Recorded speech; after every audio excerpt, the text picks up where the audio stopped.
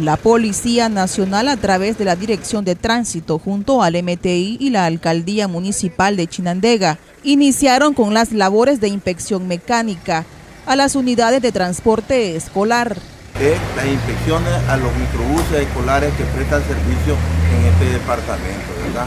En este caso estamos haciendo la coordinación con la alcaldía, el MTI, que estos vehículos vayan a funcionar en vísperas que estamos por el inicio del año escolar, eh, ellos circulen de manera técnica y en buen estado mecánico, porque los que transportan son niños. Soy dueño de un vehículo de transporte escolar y del transporte recreativo, el trencito. Bueno, en primer lugar es importante porque trasladamos niños, ¿verdad? Y las unidades tienen que andar en un muy buen estado.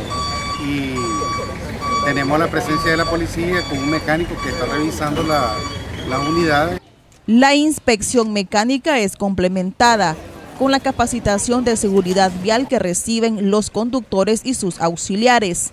Eh, ahorita nosotros estamos verificando todo lo que es el sistema mecánico, sistema de, luces, ¿verdad? sistema eléctrico, de, de, todo el funcionamiento del microbús, ¿verdad?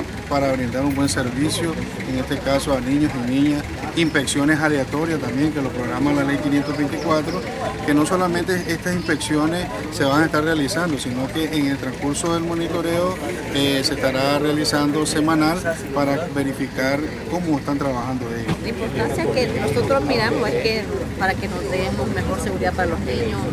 Nosotros somos como la segunda parte de los niños más importante porque pasan bastante tiempo con nosotros, compartimos con ellos y yo digo que es importantísimo y bueno pues que nos pasemos esta inspección. La inspección al transporte escolar se realiza cada seis meses para transportar de manera segura a los estudiantes evitando así accidentes en las vías por desperfectos mecánicos.